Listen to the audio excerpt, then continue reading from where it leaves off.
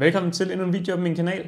Nå, I har altså talt, og øh, med en lille bitte overvægt af stemmerne, jamen der blev det altså Meta slash Facebook, som er den virksomhed, jeg skal kigge på her i dagens video. NIO var også meget, meget tæt på faktisk at, at vinde, men øh, det blev altså Meta, og jeg tænker, at øh, nu når NIO var så tæt på, så kommer den i hvert fald også på listen øh, til næste afstemning, og så må vi jo se, om, om det er den, der får flest stemmer her.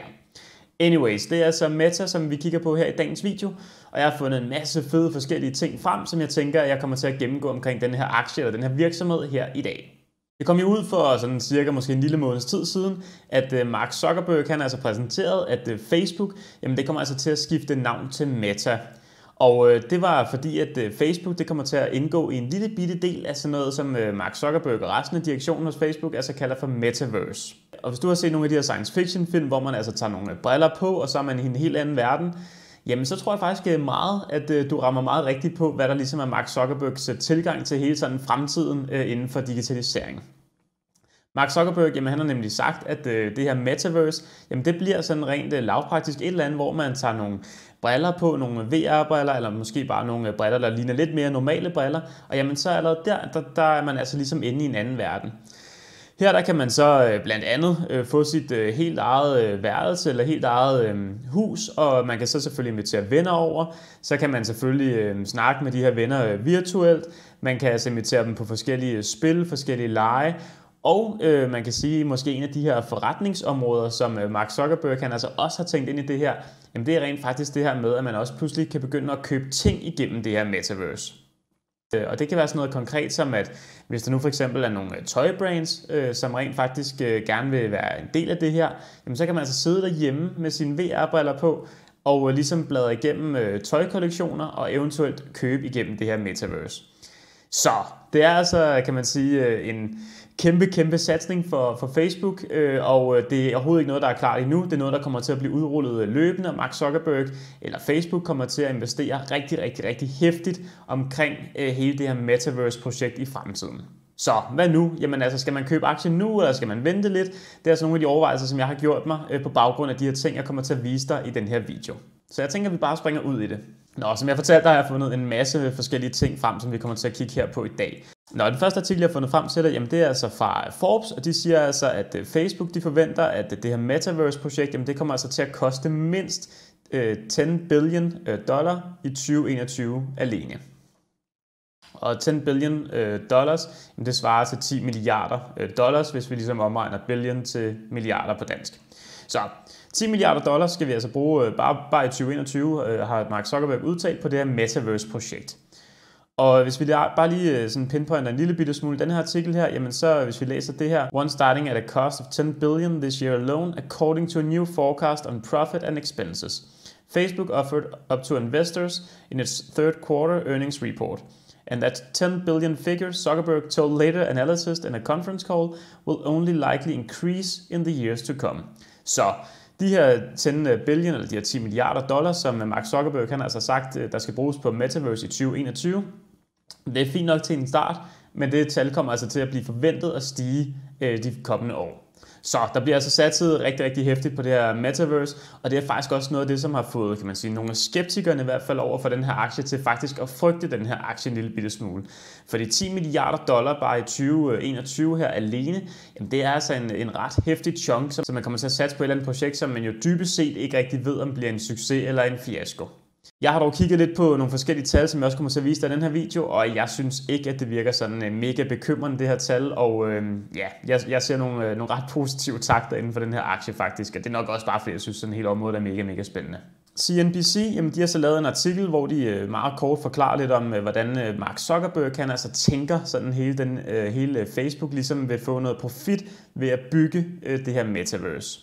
Og man kan sige, hvis vi bare lige tager nogle key points, er vi ikke tid til at gå hele artiklerne igennem her, men Facebooks øh, CEO, øh, Mark Zuckerberg, jamen han har altså ligesom øh, vist sin vision for det her metaverse øhm, og virksomhedens earnings call this week. Zuckerberg han har altså også udtalt, at det kommer til at tage mange, mange år ligesom at bygge det her metaverse, og det er det, jeg siger, det er altså overhovedet ikke noget, der er klart endnu. Det er heller ikke noget, der er klart om et år eller to år. Det er altså noget, der hele tiden kontinuerligt kommer til at blive arbejdet på, og noget, der kommer til at tage mange år, før vi nok øh, ser det øh, fulde potentiale. Hvis, hvis Facebook ligesom bliver succesfuld øh, omkring hele det her metaverse, jamen, så nogle af de her ting, der de i hvert fald kommer til at tjene penge på, det bliver øh, salg af virtuelle øh, goods eller virtuelle varer, og det kan altså være øh, sådan noget som øh, NFT'er, som jo altså de her kan man sige, digitale øh, billeder eller digitale kunstværker, som man altså kan købe, og øhm, det kommer også til at, og man, og man kan sige, at Facebook kommer også til at tjene penge på, øh, på Metaverse øh, igennem advertising og andre virtuelle experiences. Så det, er ikke, altså, så, så det lugter af, at det selvfølgelig bliver noget øh, digital marketing eller noget salg af annoncepladser, lidt ligesom du kender fra Facebook i dag. Det kommer de til stadigvæk at tjene mange penge på.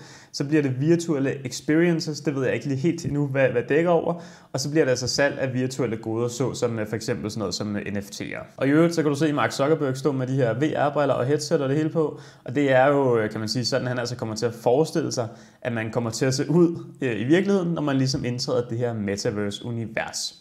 Og så kan man sige, hvis man ligesom skal i gang med det her, jamen, så er det jo vigtigt, at man har nogle, øh, nogle briller, man rent faktisk har det her øh, VR-headset, som øh, måske, øh, eller som man øh, kan sælge på markedet. Og her der er Facebook øh, heldigvis rigtig godt kørende med deres Oculus øh, Rift-briller.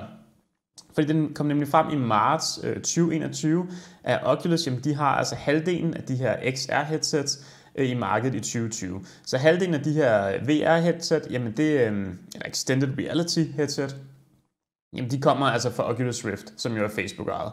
Så man kan sige, det er en rigtig, rigtig god start af Facebook øh, allerede for noget tid siden, fik indført de her VR-briller. Øhm, det var ikke overhovedet et produkt, der var sådan 100% færdigt, og der blev helt sådan øh, udviklet ting til det. Men jeg er helt sikker på, at det, det altså bare var første del i strategien i at få skudt en masse VR-briller afsted, sådan så folk måske kunne vende sig lidt til den her tanke med at have de her briller på.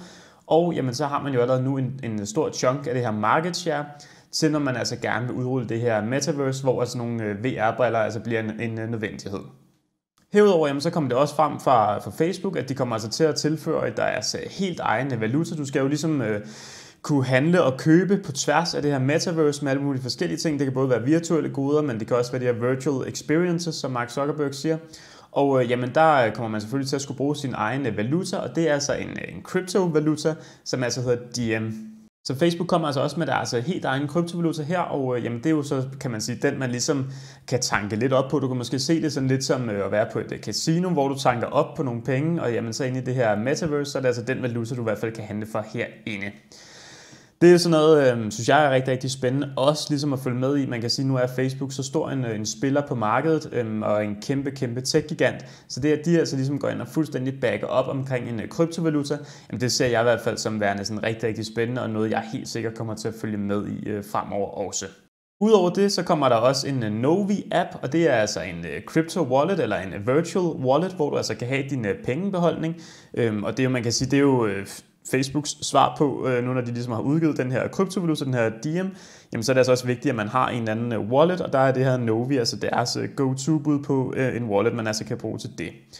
De, ligesom mange andre, så er det altså move money instantly with no fee, så du kan altså bare øh, flytte penge fuldstændig med det samme, uden at der er nogen som helst fee øh, eller gebyr, når du ligesom øh, øh, transfer penge over til, øh, til en account. Så fortalte jeg dig tidligere i videoen, at øh, Mark Zuckerberg kan altså kommer til at bruge 10 milliarder dollars øh, i 2021 på det her Metaverse-projekt, og der er mange investorer, der sidder og tænker, åh oh, nej, øh, jamen kan vide, om det bliver øh, hvad hedder det, Facebooks undergang, det lyder ret mange penge osv., men nu må jeg bare sige, at øh, hvis vi kigger på Facebooks øh, revenue og deres net income fra 2007 til 2020, jamen så ser vi jo heldigvis fra, øh, fra 2007, jamen øh, heldigvis bare en, øh, altså en rigtig, rigtig positiv trend, både på deres øh, netindkom, der har været et lille bitte knæk her fra 2018 til 2019, men igen til 2020 en rigtig, rigtig positiv vækst, og igen fra, øhm, fra hvad hedder det, deres øh, revenue, altså deres øh, omsætning, jamen der øh, er der altså bare en rigtig, rigtig positiv trend, og det ser altså ikke ud til, at den her kurve den kommer til at knække lige forløb i hvert fald.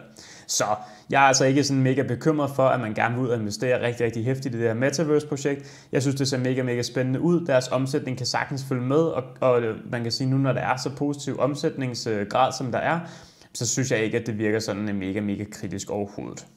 Hvis vi så gerne vil ind og kigge på, hvor stor Facebook er, og hvor mange af de her daglige brugere, der altså er på Facebook, jamen så kan vi også bare se, at det her tal der altså også er, er stødt stigende. Øh, nu har jeg taget fra øh, Q1 i øh, 2011 og så helt frem til Q3 i 2021. Og der kan vi altså bare se en øh, kurve her, som bare nærmest også bare går, går opad. Og øh, der har været en lille bit, øh, kan man sige, altså den er gået øh, en anelse langsomt opad her fra 2018 og så frem til 2019, men altså allerede fra 2019 og så frem til 2021, rigtig, rigtig positivt tal her også. Hvis så vi kigger på, øh, hvor mange der rent faktisk bruger Facebook-produkter sådan på tværs af alle Facebooks platforme, fordi det vi kiggede på lige før, jamen det var jo kun øh, rent Facebook. Nu har jeg altså taget den, øh, hvad hedder det, antallet af Facebook-produktbrugere øh, for, øh, for tredje kvartal 2021. Øh, og her der kan vi altså se, at igen kan vi se en rigtig positiv vækst. Rigtig flot kundetilgang på tværs af Facebook-produkter her fra Q2 2018 og så frem til Q3 2021. Og det, vi jo, det her det er så opgjort i, i billions, og I skal altså huske, når vi sidder og kigger på de amerikanske artikler, jamen så billions det svarer til milliarder i, i dansk. Så det er altså i milliarder. Og i Q3 2021 er der altså 3,58 milliarder aktive brugere, som bruger et eller andet form for Facebook-produkt. Og så kan det være, du sidder og tænker, jamen det lyder så mange mennesker. Er det det? Ja, det er faktisk rigtig, rigtig mange mennesker. Fordi hvis vi nu tager en, øh, og skriver jordens befolkningstal i Google, jamen så kan vi altså se, at der i øjeblikket er 7,753 milliarder, i hvert fald i 2020. Så det er faktisk næsten halvdelen af alle mennesker i hele verden, bruger altså et eller andet Facebook-relateret produkt. Og Facebook, de ejer nogle forskellige, de ejer blandt andet Instagram og WhatsApp, og det er jo altså nogle af de her øh, produkter, øh, som hvis man ligesom øh, samler hele kundebasen op på, på tværs af dem, jamen så næsten halvdelen af jordens befolkning bruger altså et eller andet Facebook-relateret produkt. Så en virksomhed, der både på, kan man sige, på omsætning er i vækst, på kundetilgang er i vækst, på altså de her kæmpe, kæmpe, kæmpe market share, kvæg næsten halvdelen af jordens befolkning bruger et eller andet form for Facebook-relateret produkt. Og nu kommer det her nye metaverse, så, altså, som skal blive sådan en helt ny virtuel verden, hvor vi kan handle varer, prøve måske prøve tøj, købe virtuelle goder, øh, snakke med hinanden, osv., osv., osv.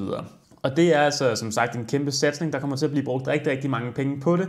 Der er nogen, der er skeptiske omkring alle de her penge, som Zuckerberg kan vil poste i det. Jeg er ikke sådan mega, mega skeptisk omkring det. Jeg synes, det virker som et rigtig fedt projekt, og jeg tror godt, at Facebook sådan som platform og, og virksomhed kan klare det. Men man skal selvfølgelig bare lige huske, inden man køber op i den her aktie, jamen så er det altså sådan noget, at den her usikkerhed, man ligesom køber ind i, man køber 100% op i, at man tror, at øh, Facebook eller Metaverse her, at det altså bliver en, øh, en succes. For hvis ikke det gør, så har man altså brugt vanvittigt mange øh, summer penge på noget, som man måske aldrig rigtig får tjent ind igen. Lad os lige prøve at kigge på, på aktiekursen inde på financialwho.com. Når jeg sidder og optager den her video her, jamen, så er aktiekursen altså på de her kurs 338,03 US dollars. Der er en øh, PE-ratio hen på 24,19, en øh, earnings per share på 13,97, og jamen så øh, kvæg, at de jo netop har skiftet over til det her Meta-platform i stedet for Facebook, jamen så har der altså ikke været noget dividende eller noget udbytte at hente endnu her. Hvis jeg trykker ind på charten, så vi kan se aktiekursen, og tager en, en etårig periode her, jamen så kan vi altså også se, at, at kursen for, for Facebook slash Meta, Jamen den har altså været, øh, været kan man sige, lavest her omkring øh, marts måned 2021 og klatret sig helt op faktisk til kurs 382,18 og så faldet igen, og den er sådan steget og faldet lidt, og efter det her meta, det ligesom blev øh, released, jamen der er den altså ikke helt sådan øh, været op på, på niveau som, øh, som før, at det ligesom blev udgivet. Og i øjeblikket er den jo som sagt på de her kurs 338,03. Og som sagt, så er en af grundene til, at den ikke bare braget i vejret, jamen det er, tror jeg i hvert fald, at der er rigtig, rigtig mange, der er lidt skeptiske omkring, øh, en ting er, at man er skeptisk omkring det metaverse, det er måske, hvad det er, men særligt de her penge, som øh, Zuckerberg han altså tænkt sig at poste i, øh, i det her projekt. Hvis vi tager et øh, kort kig herinde på financials, jamen så ligesom jeg viste før, jamen så er deres totalomsætning altså bare steget hele vejen igennem, og øh, det ser altså også ud som om, at de kommer til at få en endnu mere øget øh, totalomsætning her i øh, 2021, end de havde i 2020. Profitten, heldigvis hænger det også sammen. Der er altså flere penge, øh, der kommer ind som profit her. Og hvis vi bladrer ned til deres EBIT, som altså er altså resultatet af den primære drift, jamen så også her er der heldigvis rigtig, rigtig positive takter at, at hente. Og øh, igen en virksomhed, som altså bare tjener flere og flere penge, øh, både øh, som omsætning, profit og altså også resultat af den primære drift, som altså er EBIT. Hvis vi klikker os ind på analysis, så er det jo altid, synes jeg, rigtig, rigtig fedt ligesom at se, om der er andre, der ligesom tænker, om det her det kunne være godt køb eller ej. Og hvis vi kigger herover på, øhm, på recommendation rating herover, så kan vi altså se, at den i øjeblikket er på 1,9, øh, og det betyder altså, at den er mellem et strong buy og buy. Så det betyder altså, at de fleste aktieanalytikere, der har været herinde på det her site, ligesom Rate Action, jamen de har altså sagt, at øh, de i hvert fald helt klart synes, at det er en virksomhed eller en aktie, man altså bør overveje at købe op i. I forhold til, hvad øh, price target bør være, altså hvad aktiekursen bør ligge på, jamen så siger den gennemsnitlige øh, analytiker henne, altså at aktiekursen bør ligge på kurs 401,93. Lige nu er den på de her kurs 338. Så hvis de her øh, analytikere altså har ret, jamen så er der altså en, en rigtig fornuftig kursgevinst også at hente på den her aktie. Så en, øh, som jeg ser det, mega, mega spændende virksomhed. Facebook ændrer navn til Meta, som bliver en del af alt det her metaverse. Jeg synes jo, alt det her med virtual reality og så videre, det er mega, mega spændende. Og øh, jeg glæder mig rigtig, rigtig meget til at se, om det er noget, der, der kommer til at få succes øh, på sigt. Jeg kunne, rigtig, jeg kunne sagtens forestille mig, at der er rigtig mange af de her ting, som... Øh, som kunne komme til at fungere. Altså jeg forestiller mig, mig jo allerede et eller andet med, at man kan tage de her briller på, måske stå inde i en anden tøjbutik og prøve tøjet øh, sådan øh, nærmest fysisk, og så, bare, øh, så kan det være, at Facebook måske har et samarbejde med nogle tøjbrands, og jamen, så kan man altså bare købe tøjet øh, igennem det her øh, virtual reality, og øh, så er du helt sikker på, at det er den helt korrekte størrelse, og det er rigtig fedt, og så videre, du altså får tilsendt. Og det er jo bare en af de her ting. Der er masser og masser af muligheder, som det her metaverse det åbner op for. Det man måske skal være lidt påpasselig med, jamen det er det her med, om man ligesom tror, at det bliver en succes eller ej, fordi det er for mig at se lidt en no-brainer. Hvis du tror på, at Metaverse det bliver en kæmpe, kæmpe succes, jamen så øh, tænker jeg helt sikkert, at du bør holde øje med aktien, og i hvert fald tilføje den til din egen øh, liste, som du kan læse lidt ekstra op på aktien osv., men, men i hvert fald, så kunne det være et rigtig, rigtig spændende køb måske. Omvendt, hvis ikke du rigtig tror på det, så bliver det en øh, rigtig, rigtig, rigtig dyr øh, kan man sige, et, øh, et dyrt bud for Facebook, og, og rigtig dyrt for dem at betale alle de her penge og poste de her penge øh, ind i det her metaverse, som måske aldrig rigtig bliver en succes. Hvad synes du om øh, det her nye metaverse? Det må du også meget gerne skrive ned i kommentarfeltet. Synes du, det er spændende? Fedt? Tænker du, det er for urealistisk? Eller hvordan er hvorledes? Du må altså gerne skrive alle dine tanker og idéer omkring det nede i kommentarfeltet. Jeg håber, at du synes, det er fedt, at jeg ligesom øh, fortsætter det her, hvor at, øh, jeg kigger på, på nogle aktier, som I har valgt til mig. Jeg tænker at forsøge at gøre det cirka en gang om måneden. Det kan godt være, at det bliver hver anden måned, hvis jeg har lidt øh, travlt i nogle perioder, for det tager mig altså sindssygt lang tid at sætte mig ind i de her aktier. Så hvis du kunne lide, hvad du så her i dag, så husk i videoen et like. Husk også at trykke subscribe, fordi så kan du aldrig glippe de nyeste uploads. Tusind tak, fordi du gad se med her i dag, og så har jeg ikke så meget andet at sige, end at vi blot ses til min næste video.